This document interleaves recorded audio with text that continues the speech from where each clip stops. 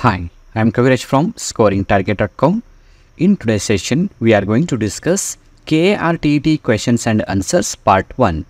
ಆತ್ಮೀಯ ವಿದ್ಯಾರ್ಥಿಗಳ ಇವತ್ತಿನ ತರಗತಿಯಲ್ಲಿ ನಾವು ಕಾಂಪಿಟೇಟಿವ್ ಎಕ್ಸಾಮ್ಗೆ ಹೆಲ್ಪ್ ಆಗ್ತಕ್ಕಂಥ ಇಂಪಾರ್ಟೆಂಟ್ ಗ್ರಾಮರ್ ಕ್ವೆಶನ್ಗಳನ್ನ ಡಿಸ್ಕಸ್ ಮಾಡೋಣ ಇದು ಕೆ ಆರ್ ಟಿ ಟಿ ಮಾದರಿ ಪ್ರಶ್ನೆ ಪತ್ರಿಕೆಯನ್ನು ಆಧಾರವಾಗಿ ಇಟ್ಟುಕೊಂಡು ಯಾವ ಯಾವ ಗ್ರಾಮರ್ಗಳ ಮೇಲೆ ಯಾವ ಥರದ ಪ್ರಶ್ನೆಗಳನ್ನು ಇಂಗ್ಲೀಷ್ ಗ್ರಾಮರ್ಗೆ ಸಂಬಂಧಪಟ್ಟಂತೆ ಕೇಳ್ತಾರೆ ಅನ್ನೋದನ್ನು ಇಲ್ಲಿ ಪ್ರಶ್ನೆಗಳ ರೂಪದಲ್ಲಿ, ಒಂದು ಕ್ವಿಜ್ ರೂಪದಲ್ಲಿ ಮಾಡಿದ್ವಿ ಸೊ ಇಲ್ಲಿ ಪ್ರಶ್ನೆಗಳು ನಾಲ್ಕು ಆಪ್ಷನ್ಸ್ ಮತ್ತು ಉತ್ತರ ಕೂಡ ಇರುತ್ತೆ.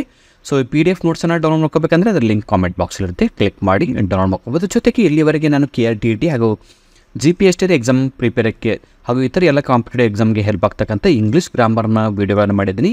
ಒಟ್ಟಾರೆ ನಲವತ್ತು ಮೂರು ವೀಡಿಯೋಗಳನ್ನು ಮಾಡಿದ್ದೀನಿ. ಅವುಗಳ ಲಿಂಕ್ ಕೂಡ comment ಬಾಕ್ಸಲ್ಲಿರುತ್ತೆ okay so K R T T ಎಕ್ಸಾಮ್ಗೆ ಸಂಬಂಧಪಟ್ಟಂಥ ಪ್ರಶ್ನೆಗಳು ಏನು ಥರ ಕೇಳ್ಬೋದು ನಿಮಗೆ ಅಂದರೆ ಮೊದಲನೇ ಪ್ರಶ್ನೆಯಾಗಿ choose the correct word or phrase to complete each sentence so ಈ ಕೆಳಗೆ ಕೊಟ್ಟಂಥ ಒಂದು ಸೆಂಟೆನ್ಸ್ ಏನಿದೆ, ಅದನ್ನು ಕಂಪ್ಲೀಟಾಗಿ ಫಿಲಪ್ ಮಾಡಬೇಕಂದ್ರೆ ಯಾವ ವರ್ಡ್ ಅಥವಾ ಫ್ರೇಸನ್ನು ಫಿಲಪ್ ಮಾಡ್ತೀರಾ ಅಂತ. ಸೊ ಏನಿದೆ ಸೆಂಟೆನ್ಸ್ ಅಂದರೆ it is raining hard I wish I dash an umbrella ಮಳೆ ತುಂಬ ಜೋರಾಗಿ ಬರ್ತಾ ಇದೆ. ಸೊ ಈಗ ಏನು ಮಾಡ್ಬೇಕು ನಾನು? ಐ ವಿಶ್ ಏನು ಮಾಡಬೇಕು? Option A have B has C had D hadn't. So ಇಲ್ಲಿ ಸರಿಯಾದ ಉತ್ತರ ಯಾವುದು ಅಂದರೆ ಆಪ್ಷನ್ ಸಿ ಹ್ಯಾಡ್ ಯಾಕೆ ಹ್ಯಾಡ್ ಆಯಿತು?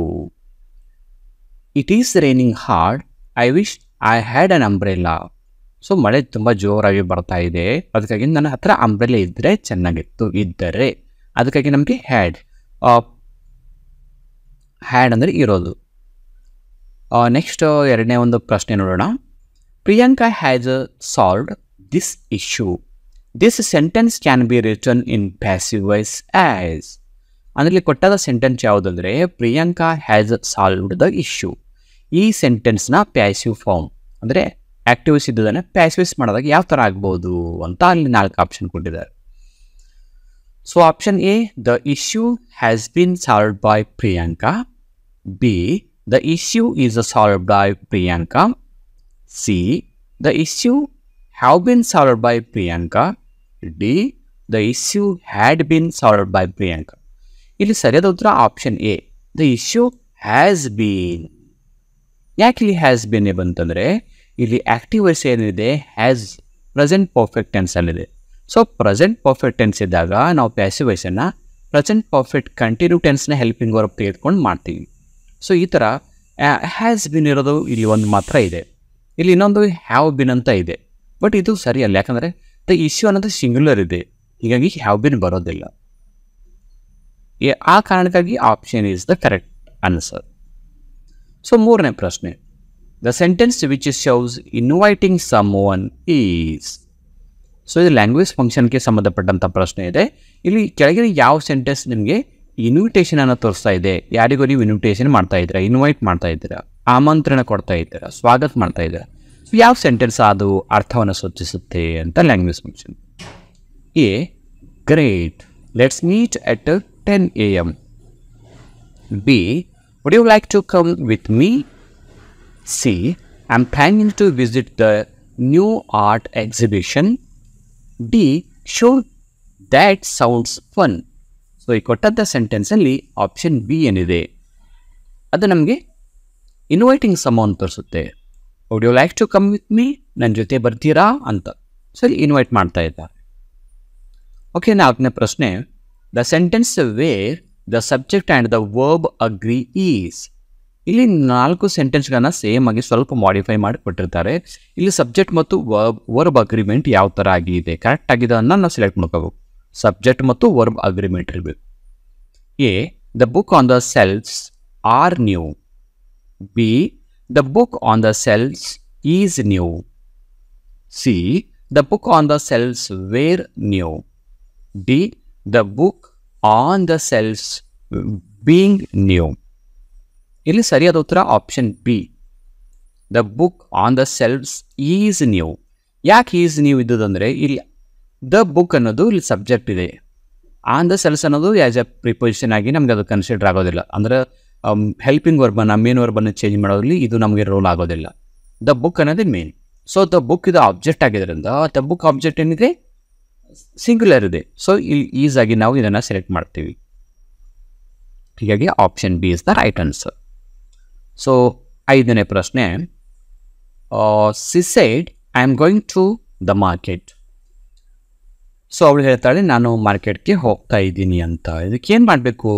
This a sentence can be reported as reported as ಅಂದರೆ, ಈ ಸೆಂಟೆನ್ಸನ್ನು ಯಾವ ಥರ ರಿಪೋರ್ಟ್ ಮಾಡ್ತೀರಾ?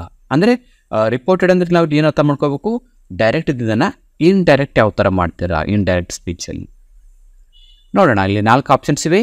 A she said that she was going to the market B she says that she is going to the market C she said that she goes to the market D she says that she went to the market ಇಲ್ಲಿ ಏನು ನಾವು consider ಮಾಡ್ತಾ ಇದ್ವಿ? Option A is the right answer ಅಂತ ಹೇಳ್ತಾ ಇದೆ. She said that she was going to the market ಇಲ್ಲಿ ಏನಿದೆ? ಆ, ಕೊಟ್ಟಂಥ ಸೆಂಟೆನ್ಸಲ್ಲಿ ಆ್ಯಮ್ ಅಂತ ಇದೆ. ಕ್ವಶನಲ್ಲಿ ಆ್ಯಮ್ ಅನ್ನೋದು present continue so direct sentence present continue ಇದ್ದಾಗ ಇಂಡೈರೆಕ್ಟನ್ನು ನಾವು ಪಾಸ್ಟ್ ಕಂಟಿನ್ಯೂ ಟೆನ್ಸ್ನ ಹೆಲ್ಪಿಂಗ್ ವರ್ಬನ್ನು ತೆಗೆದುಕೊಂಡು ಪ್ಯಾಸಿವೈಸ್ ಮಾಡ್ತೀವಿ. ಸೊ, ಇದು ಆಪ್ಷನ್ ಈ ಪಾಸ್ಟ್ ಕಂಟಿನ್ಯೂ ಇದ್ದದ್ದು ಯಾವುದು? ವಾಸ್ ಅಂತ ಇದೆ. ಸೊ, ಅದಕ್ಕಾಗಿ ನಾವು ಆಪ್ಷನ್ ಎಯನ್ನು ಸರಿ ಅಂತ ಸೆಲೆಕ್ಟ್ ಮಾಡ್ತೀವಿ. ಇನ್ನು ಆರನೇ ಪ್ರಶ್ನೆ which of the following is not considered a visual teaching aid visual teaching ಆ್ಯಡಲ್ಲಿ ಇದು ಕೆಳಗಿನ ಯಾವುದು ಬರೋದಿಲ್ಲ ಅಂತ ಪ್ರಶ್ನೆ ಇದೆ. ವಿಜುವಲ್ ಟೀಚಿಂಗ್ ಅಂದರೆ ನಮ್ಗೆ ಗೊತ್ತಾಗ್ತಾ ಇದೆ. ವಿಜುವಲ್ ಅಂದರೆ ನೋಡೋದು. Cards B overhead projector slides C audio tape and D whiteboard drawing ಇದರಲ್ಲಿ ಸರಿಯಾದ ಉತ್ತರ ಆಪ್ಷನ್ ಸಿ ಆಡಿಯೋ ಟೇಪ್ ಈಗ ಯಾಕಿದು ಸೀನೇ ಸರಿಯಾಗಿದ್ದು? ನಮಗೆ ಏನು ಪ್ರಶ್ನೆ ಇದೆ ನೋಡಿ. Not considered as visual aid visual ಅಂದರೆ ಕಣ್ಣಿಲ್ಲಿ ನೋಡೋದು. ಸೊ ನೋಡ್ತಕ್ಕಂಥ ದೃಶ್ಯ ಯಾವುದು? ಅಂತ ಕೇಳಿದ್ದಾರೆ ನಾವು ಫ್ಲ್ಯಾಶ್ ಕಾರ್ಡನ್ನು ಕಣ್ಣಲ್ಲಿ ನೋಡ್ತೀವಿ. ಆ ಪ್ರೊಜೆಕ್ಟರ್ ಏನಿದೆ ಅದನ್ನು ನಾವು ಕಣ್ಣಲ್ಲಿ ನೋಡ್ತೀವಿ. ವೈಟ್ ಬೋರ್ಡಲ್ಲಿ ಬರೆದಿದ್ದನ್ನು ನಾವು ಕಣ್ಣಲ್ಲಿ ನೋಡ್ತೀವಿ. ಬಟ್ ಆಡಿಯೋ ಟೇಪ್ ಏನಿದೆ ಟೇಪಲ್ಲಿ ನಾವು ಕೇಳ್ತಾ ಇರ್ತೀವಿ. ಹೀಗಾಗಿ ಇದು ವಿಜುವಲ್ ಟೀಚಿಂಗ್ ಆ್ಯಡ್ ಆಗೋದಿಲ್ಲ. ಇಲ್ಲ ನಾನು ಎಕ್ಸ್ಪ್ಲನೇಷನನ್ನು ಕೂಡ ಕೊಟ್ಟಿದ್ದೀನಿ. ಕೆಳಗಡೆ ನೀವು ಪಿ ಡಿ ಎಫ್ ನೋಟ್ಸನ್ನು ಡೌನ್ಲೋಡ್ ಮಾಡಿಕೊಂಡು ಅದನ್ನು ಓದ್ಕೋಬೋದು. ಸೊ ಏಳನೇ ಪ್ರಶ್ನೆಗೆ ಹೋಗೋಣ. What type of teacher student interaction involves providing specific guidance to improve student performance so ವಿದ್ಯಾರ್ಥಿಗಳಲ್ಲಿ ಒಂದು ಅಭಿವೃದ್ಧಿ, ಪ್ರಗತಿ ಸಾಧಿಸಬೇಕಂದ್ರೆ ವಿದ್ ಶಿಕ್ಷಕ ವಿದ್ಯಾರ್ಥಿಗಳ ಮಧ್ಯೆ ಯಾವ ಥರದ ಒಂದು ಇಂಟ್ರ್ಯಾಕ್ಷನ್ ಅಂದರೆ ಒಂದು ಸಂಪರ್ಕ ಇರಬೇಕು ಅಂತ ಕೇಳ್ತಾ ಇದ್ದಾರೆ A feedback B learn lecturing C assessment D storytelling so ವಿದ್ಯಾರ್ಥಿಗಳಲ್ಲಿ ನಾವು ಸುಧಾರಣೆ ತರಬೇಕಂದ್ರೆ ನಮ್ಮ ಮಧ್ಯೆ ಅಂದರೆ ವಿದ್ಯಾ, ಶಿಕ್ಷಕರ ಮಧ್ಯೆ ಮತ್ತು ವಿದ್ಯಾರ್ಥಿಗಳ ಮಧ್ಯೆ ಇಂಟ್ರಾಕ್ಷನ್ ಯಾವ ಥರ ಇರಬೇಕಂದ್ರೆ ಫೀಡ್ಬ್ಯಾಕ್ ರೂಪದಲ್ಲಿ ಇರಬೇಕು. ಯಾಕೆ ಇದು ಫೀಡ್ಬ್ಯಾಕ್ ಅನ್ನೋದು ನಾನು ರೀಸನನ್ನು ಕೊಟ್ಟಿದ್ದೀನಿ.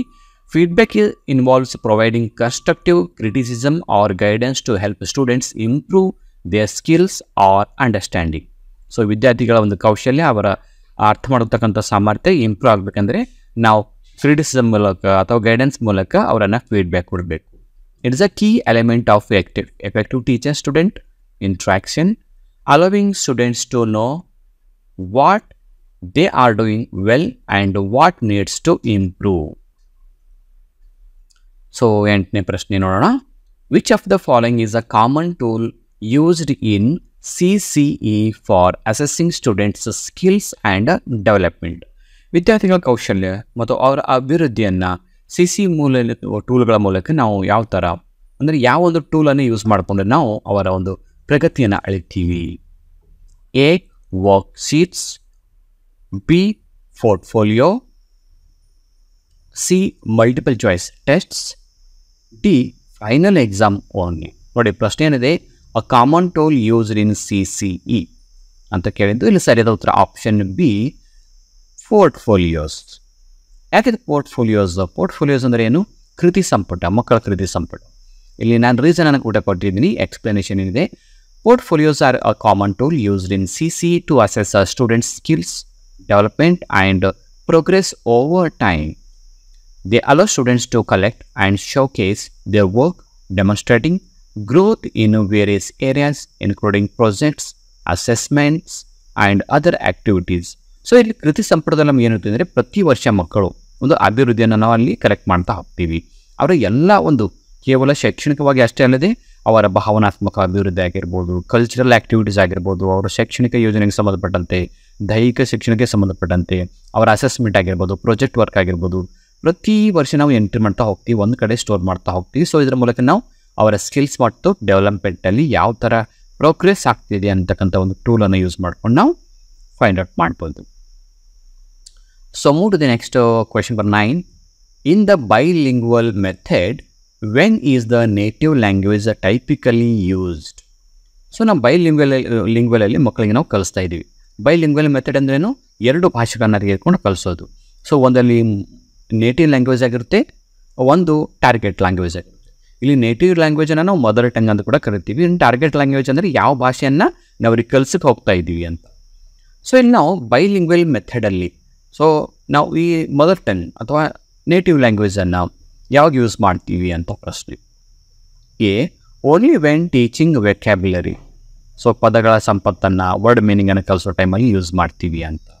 B only during written exams ಬರೆಯೋ ಎಕ್ಸಾಮ್ಗಳಲ್ಲಿ ಲಿಖಿತ ಪರೀಕ್ಷೆಗಳಲ್ಲಿ. C in every conversation regardless of context so ಪ್ರತಿಯೊಂದು ಸಂಭಾಷಣೆಯಲ್ಲಿ ಬಳಸ್ತೀವಿ ಅಂತ. D when explain explaining difficult concepts or instructions so ಕಷ್ಟಕರವಾದ ಆ ಒಂದು ಕಾನ್ಸೆಪ್ಟ್ಗಳು ಪರಿಕಲ್ಪನೆಗಳು ಅಥವಾ ಮಾಹಿತಿಯನ್ನು ನೀಡಿಸೋ ಟೈಮಲ್ಲಿ ನಾವು ಬಳಸ್ತೀವಿ ಅಂತ. ಸೊ ಇಲ್ಲಿ ಸರಿಯಾದ ಉತ್ತರ ಆಪ್ಷನ್ ಡಿ ಅಂದರೆ ಯಾವಾಗ ಮಕ್ಕಳಿಗೆ ಅರ್ಥ ಆಗೋದಿಲ್ವೋ, ಅವರಿಗೆ ಅದು ಕಾನ್ಸೆಪ್ಟ್ ತುಂಬ ಡಿಫಿಕಲ್ಟ್ ಅನಿಸುತ್ತೋ ಅಥವಾ ಅವ್ರಿಗೆ ಯಾವುದಾದ್ರು ಸೂಚನೆಗಳು ಕೊಡಬೇಕಂದ್ರೆ, ಅವರಿಗೆ ಅರ್ಥ ಆಗುವಾಗೆ ನಾವು ಲೇಟ್ ನೇಟಿವ್ ಲ್ಯಾಂಗ್ವೇಜನ್ನು ಅಥವಾ ಮದರ್ ಟಂಗನ್ನು ಬಳಸ್ತೀವಿ. ಇಲ್ಲಿ ಎಕ್ಸ್ಪ್ಲನೇಷನ್ ಕೂಡ ಕೊಟ್ಟಿದ್ವಿ. ಆ ಎಕ್ಸ್ಪ್ಲನೇಷನಲ್ಲಿ ಏನಿದೆ in the bilingual method a native language is use to explain complex or difficult concepts instructions Or grammar rules this approach can help students grasp their inside ideas before applying them in the target language. So ಹತ್ತನೇ ಪ್ರಶ್ನೆ in the classroom using communicative language teaching which one of the which of the following would likely be the teacher's role ನೋಡಿ in class ರೂಮಲ್ಲಿ ನಾವು communicative ಲ್ಯಾಂಗ್ವೇಜನ್ನು teaching ಮಾಡ್ತಾ ಇದ್ವಿ so ಆ ಟೈಮಲ್ಲಿ teacher ಒಂದು ರೋಲ್ ಏನು ಆದರೆ ಮಕ್ಕಳಿಗೆ ನಾವೊಂದು ಇಂಗ್ಲೀಷ್ ಭಾಷೆಯನ್ನು ಕಲಿಸ್ತಾ ಇದ್ದೀವಿ. ಹೌದಾ? ಅವರಿಗೆ ಒಂದು ಕಮ್ಯುನಿಕೇಟ್ ಲ್ಯಾಂಗ್ವೇಜ್ ಯಾವ ಥರ ಮಾತಾಡಬೇಕು ಅಂತ ನಾವು ಇಂಗ್ಲೀಷ್ ಭಾಷೆನ ಕಲಿಸ್ತಾ ಇದ್ದೀವಿ. ಸೊ ಇಲ್ಲಿ ಟೀಚರ್ ಯಾವ ರೋಲನ್ನು ತಗೊಂಡು, ತಗೋಬೇಕು ಅಂತ? A an authority figure who provides correct answer ಸರಿಯಾದ ಉತ್ತರಗಳನ್ನು ಅವರಿಗೆ ಕೊಡ್ತಾ ಹೋಗಬೇಕು ಅಂತ. B a facilitator who guides students in communicative activities so ಮಕ್ಕಳ ಕಮ್ಯುನಿಕೇಟಿವ್ ಆ್ಯಕ್ಟಿವ್ಸಲ್ಲಿ ಮಕ್ಕಳಿಗೆ ಒಂದು ಗೈಡರ್ ಆಗಬೇಕು, ಮಾರ್ಗದರ್ಶಕರಾಗಬೇಕು. C a strict disciplinarian who focuses on language accuracy ಭಾಳ ಸ್ಟ್ರಿಕ್ಟಾಗಿ ಅವರ ಲ್ಯಾಂಗ್ವೇಜ್ ಅಕ್ಯುರೇಸಿ ಲ್ಯಾಂಗ್ವೇಜ್ ಅನ್ನ ನಿಖರತೆಯನ್ನು ಚೆಕ್ ಮಾಡ್ಕೋಬೇಕು D a lecture who delivers information to the class so ಮಾಹಿತಿಯನ್ನು ಕೊಡ್ತಕ್ಕಂಥ ಒಬ್ಬ ಮಾಹಿತಿದಾರ ಆಗಬೇಕು ಅಂತ ಇಲ್ಲಿ ಸರಿಯಾದ ಉತ್ತರ ಆಪ್ಷನ್ ಬಿ ಏನಿದೆ? A facilitator who guides students in communicative activities ಮಕ್ಕಳು ಕಮ್ಯುನಿಕೇಟಿವ್ ಆ್ಯಕ್ಟಿವಿಟೀಸ್ ಏನು ಮಾಡ್ತಿರ್ತಾರೆ? ಏನು ಇಂಗ್ಲೀಷ್ನಲ್ಲಿ ಮಾತಾಡ್ತಿರ್ತಾರೋ ಅವಾಗ ಅವರಿಗೆ ನಾವು ಏನು ಮಾಡಬೇಕು? ಗೈಡ್ ಆಗಿ ಫೆಸಿಲಿಟೇಟರ್ ಆಗಬೇಕು. ಇಲ್ಲಿ ನಾವು ರೀಸನ್ ಕೂಡ ಕೊಟ್ಟಿದ್ವಿ in C L T C L T ಅಂದ್ರೆ ಏನು? Communicative language teaching. ಎಕ್ಸಾಮ್ಗಳಲ್ಲಿ ನಿಮ್ಗೆ ಇದ್ರ ಫುಲ್ ಫಾರ್ಮ್ ಕೂಡ ಕೇಳ್ಬೋದು. ಲಾಸ್ಟ್ ಒಂದು ಟಿ ಟಿ ಎಕ್ಸಾಮಲ್ಲಿ ಕೇಳಿದರು. ಸಿ ಎಲ್ ಟಿನ ಫುಲ್ ಫಾರ್ಮನ್ನು ಕೇಳಿದರು. Communicative language teaching. In C L T the teacher acts as a facilitator guiding students through communicative activities and providing support as needed.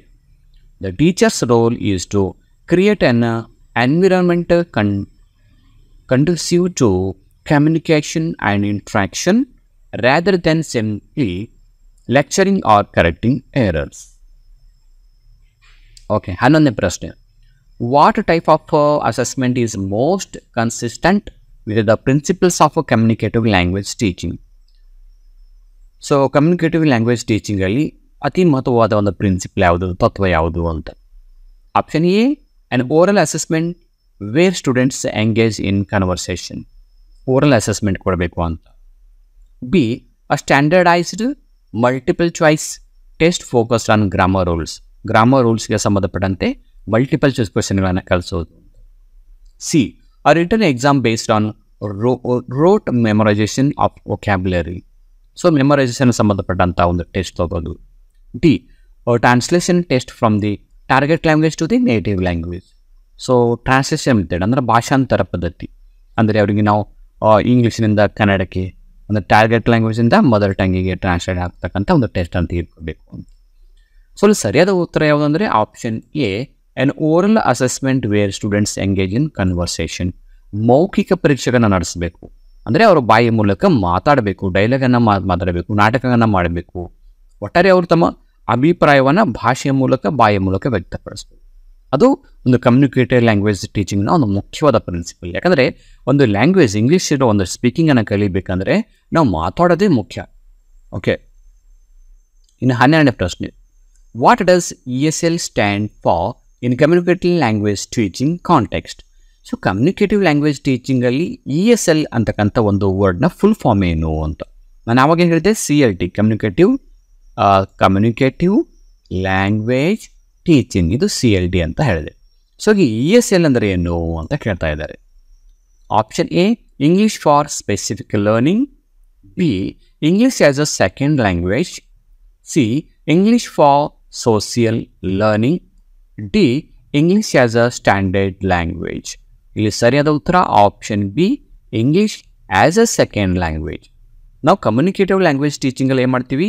ಇಂಗ್ಲೀಷನ್ನು ದ್ವಿತೀಯ ಭಾಷೆಯಾಗಿ ಕಲಿಸ್ತೀವಿ. ಪ್ರಥಮ ಭಾಷೆಯಾಗಿ ನಮ್ಮ ಮಾತೃಭಾಷೆ ಇರುತ್ತೆ. ಅದರಲ್ಲಿ ಎಕ್ಸ್ಪ್ಲನೇಷನ್ ಕೂಡ ಕೊಟ್ಟಿದ್ದೀನಿ.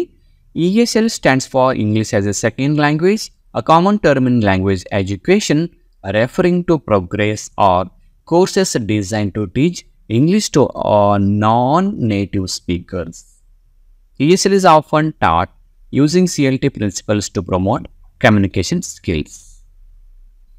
Okay ಹದಿಮೂರನೇ ಪ್ರಶ್ನೆ ಏನಿದೆ?